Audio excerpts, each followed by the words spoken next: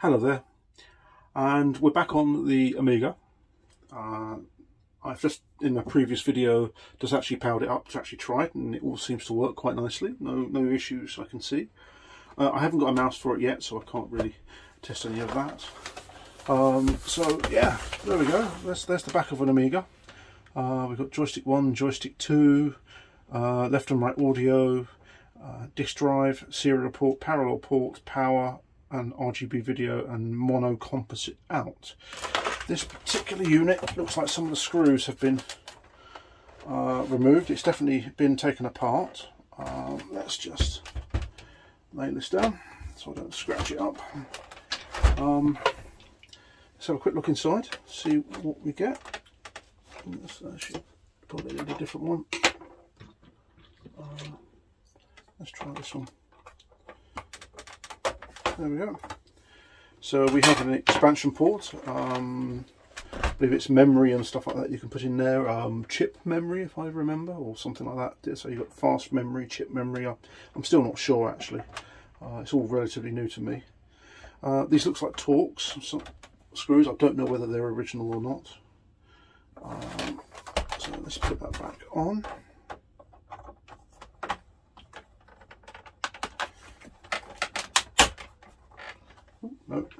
Something's going wrong there.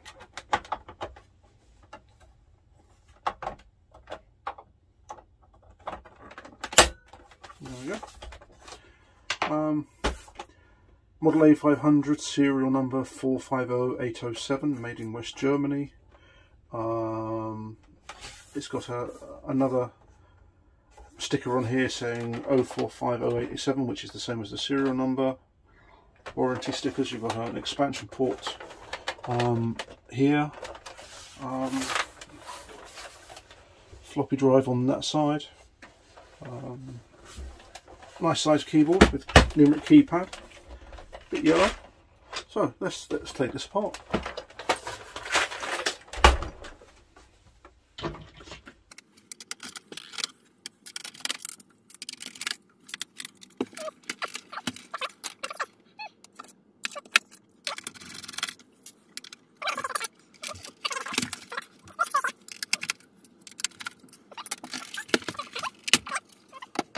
So, okay. We've got a, chip number of 3188 on this, so this could be a, a late 80s one. Um, so, like that just pulls out like that. Uh, got a bunch of other screws. These Torx look all original.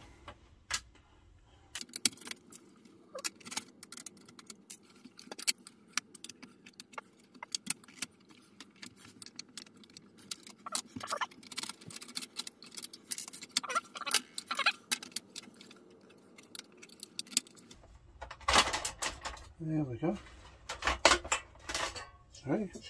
Wow, there we go. Let's put that.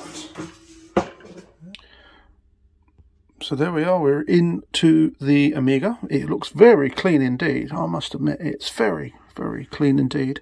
A little dusty on the edges. Looks well used. Let's just unplug my camera right, from the power. So so Rock Lobster A500P uh, WW8788, which looks, yeah, the chips are all 3288, 3588, 0388, 0288. That's the 6500 there, 6800, sorry. Um, 3488. So yeah, so this, I yeah, this this dates to late 1988. I've got a couple of capacitors here, a few here, which can all be checked and replaced as necessary. Um, it's a nicely nicely laid out board actually. Uh, it says Fab 312512. I don't know what that means. Uh, I do love the names. Fat Agnus, uh, Denise. Um, was it Gary? Um, so yeah, it's it's quite an interesting board. I don't know what this is about. Um, so we've got some sort of, uh, was it Matsushita or Matsushita um, floppy drive. I don't know whether it's, uh, it probably is just uh, uh double density. Uh, so I'm going to take that off in a second and open it up and give it a clean. So yeah, a few more capacitors underneath there. Safi's being a little bit of a pain. She wants to go in and then she wants to go out and all sorts. So just make sure chips are all located okay. Yeah, so there we go. I'm not going to take it out of it, out of the case, not today. Uh, but I am going to take that drive and give it a clean. I've got some isopropanol and also I've got the some uh, the relevant grease to clean it all up, make that drive work nicely. I'm probably still going to be using the floppy drive for a little while until I sort the Gotek out. Yeah, very nice indeed. I had a devil of a job getting these supports out. Uh, somebody had actually screwed uh, one of these screws in to the bottom of the support at a, at a slight angle. Let's see whether it was it this one. Yeah. Let's see. Yes, so somebody's misthreaded that, and I had to use uh, a pair of pliers to get this out. It was basically I had to thread it out, the whole support out. So uh, let's have a quick look.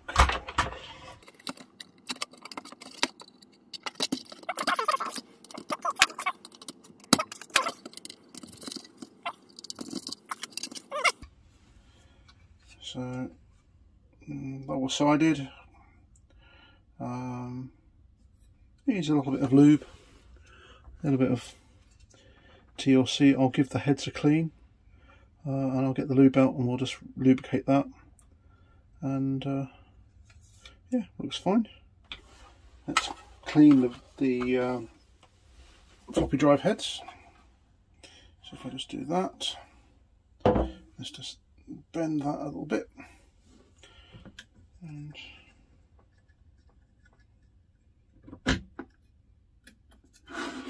it's difficult to see, can I even remotely get in there?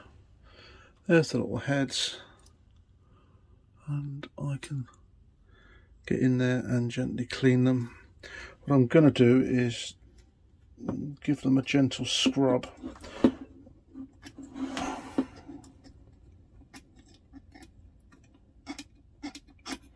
You can sometimes end up with like a glaze sitting on top of them.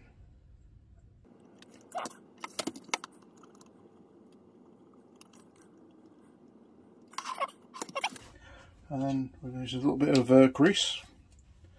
I tend to use uh, a lithium grease, uh, but you can use any general purpose grease. Um, just put that there.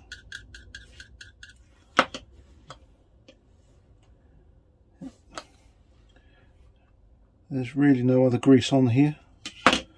Um, there's a little bit at the end there, but it's really uh, pretty dry.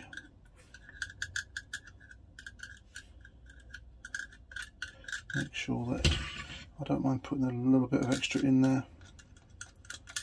Right. Cool. So that's that. That's done.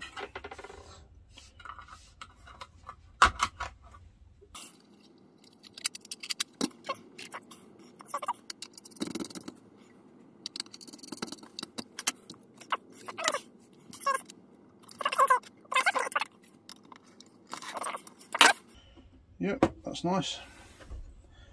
And then we can then put this back in.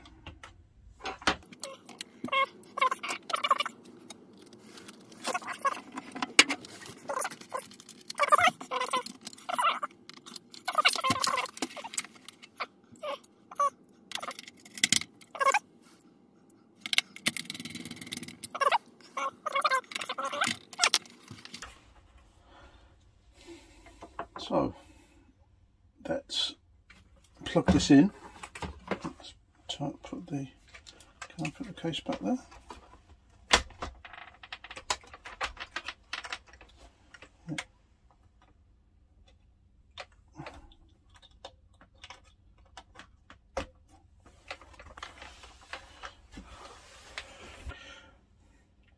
So power's plugged in, cable's plugged back in again so we can see the light. Uh, floppy drive's back in, uh, it needs the floppy cables put back in, doesn't it? Otherwise it won't work.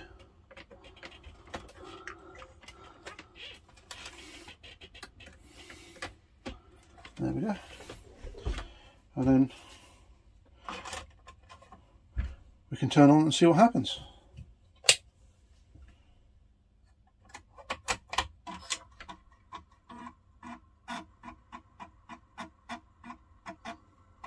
Sounds like it's working.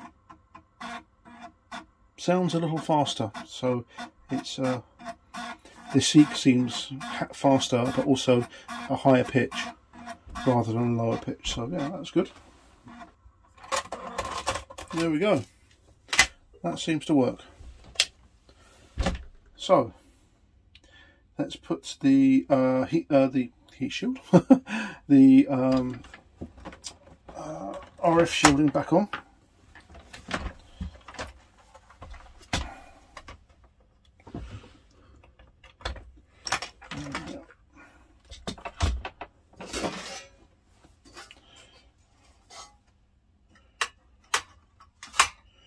I'm going to give it a, a proper clean up later on.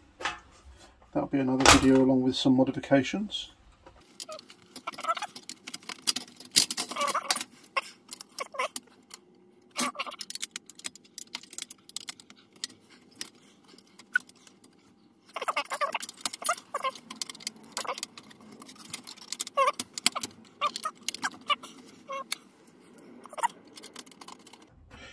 Always back them out until you feel it click. If you're going into um, plastic, so metal metal screw into plastic, it's back out until you feel it's it clicks, which is means it's at the top of the thread, and then you can screw it in. That means you're not recreating a thread in plastic and making the plastic weaker.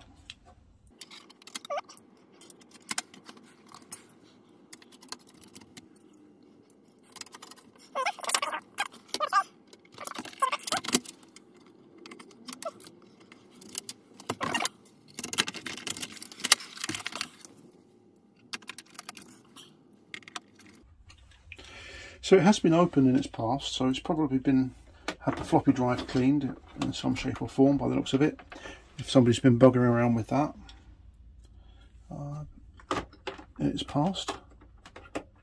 So once I get the Gotek then there really won't, won't, be a floppy drive in this, it'll just be uh, files via USB and images via USB. So there we go. Back together again. Excellent. So, let's give it a very light clean. Um,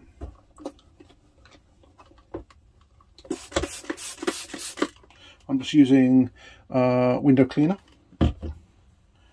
No preference on uh, brand.